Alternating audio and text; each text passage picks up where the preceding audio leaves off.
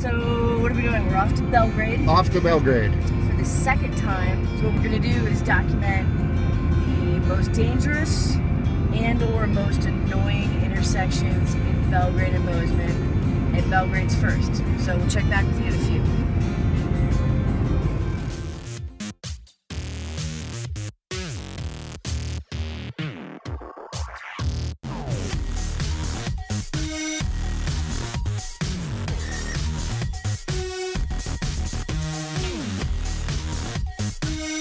Okay, so we made it to Belgrade, and uh, so Chris and I were told because neither one of us live in Belgrade about some of the intersections. And so where are we now? Madison and Jackrabbit. Okay, so Madison and Jackrabbit Lane is really sort of the, the main intersection in town. It's a four-way stop. There's I think there's left-hand turn lanes. And it looks pretty busy, I gotta admit. So, Big trucks, Like big trucks. Five o'clock. Do you want to deal Yeah. with this? Yes. No, I don't want to deal with this. Oh. Five o'clock. Me? No. But at 11 o'clock in the morning on a Tuesday, this is what Madison and Jackrabbit looks like. Cement truck. All right, here we are departing Madison and Jackrabbit. No, we're not. We're not? No, Oh. No, we're not. We're just parking right now. I need a minute. We need a minute. I mean, not like that kind of minute, but stop. Oh, I've done something Okay. wrong. Moments ago, Michelle needed a break, needed a moment. She's making a run for the border.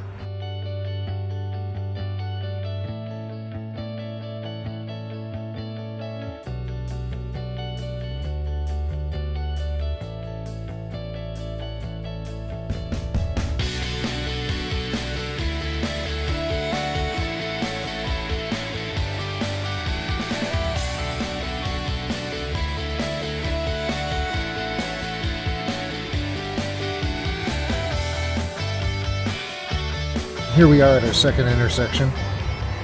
Okay, this is the intersection commonly known as Frontage Road and East Valley Center. And you may see stuff in the news coming up. Uh, Frontage Road is formerly formally known as Primary 205.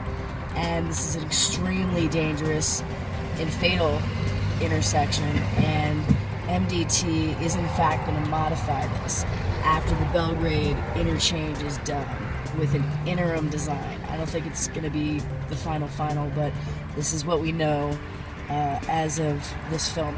So, according to MDT, um, the interim design will restrict the northbound turn movement, left turn movement, as if you're heading to Belgrade. So this is midday. I can only imagine this is much busier, at 5 o'clock.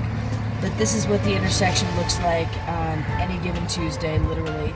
Uh, it's dangerous to begin with. Modifications are going to have some impact, I think, on Belgrade, but this is all fresh and brand new, so we'll take a look.